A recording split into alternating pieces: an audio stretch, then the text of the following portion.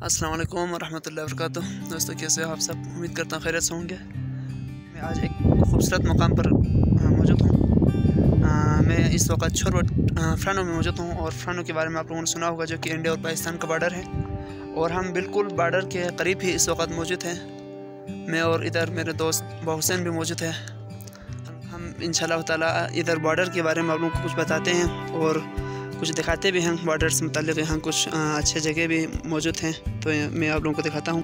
تو جی تو دوستو، یہ جو پل آپ لوگ نیچے گہرائی میں جو دیکھ رہے ہیں، یہ دریائے شوق پر موجود ہیں۔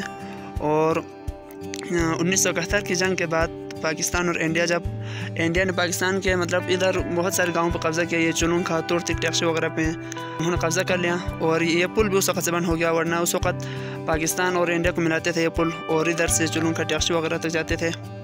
تو یہ پل آپ لوگ دیکھ رہے ہیں اور یہ پل قدیمی پل ہے اور اس میں نہ کوئی کیل استعمال کیا ہے، نہ کوئی پہلے تب نہ اس میں کوئی تار وغیرہ بھی استعمال نہیں کیا تھا یعنی بڈول جس کہا جاتا ہے، صرف لکڑی سے بنایا ہوا تھا اور پتھر سے بنایا ہوا تھا، لیکن بعد میں جو اوپر جو اب لوگ بلیک اور وائٹ کلر میں جو پل دیکھ رہے ہیں، وہ بعد میں اس کے توسیع کیا گیا، پھر بنایا گیا ہے جی۔ اور یہ جو دریا ہے دریائے شوق ہے اور یہ تقریباً انڈیا سے ہی جاری ہے۔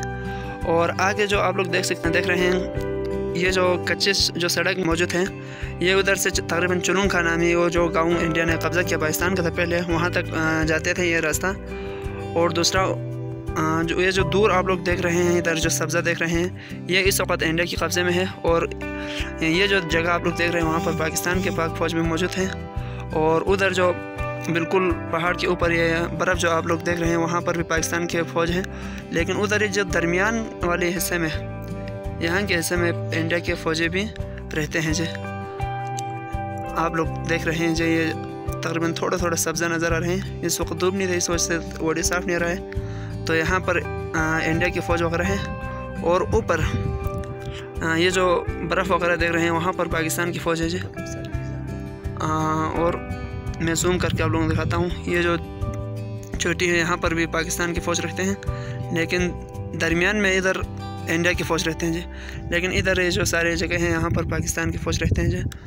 تو آپ لوگوں نے شاید ویڈیو پسند آئے ہوں گے اور اس ویڈیو کو لائک کیجیے گا۔ باقی یہ جو آپ لوگ دوسرے دریا کی دوسرے چینل جو دیکھ رہے ہیں یعنی کہ فرنٹ سے آگے پہلے جو مین روڈ ہوا کرتے تھے، لیکن اکہتر کی جب جنگ ہوا تو انڈیا نے قبضہ کر لیا ہمارے مختلف گاؤں پہ۔ تو اس وقت ادھر سے آگے کا روڈ بھی منقطع ہے، یہاں سے آگے نہیں جا سکتے ہیں جی۔ تو اس وقت ہم لوگ یہاں پر گھومنے آئے تھے جی۔ آپ لوگوں کو یہ ویڈیو پسند آئیں گے۔ تو اسی کے ساتھ ہمیں اجازت دیجیے اللہ حافظ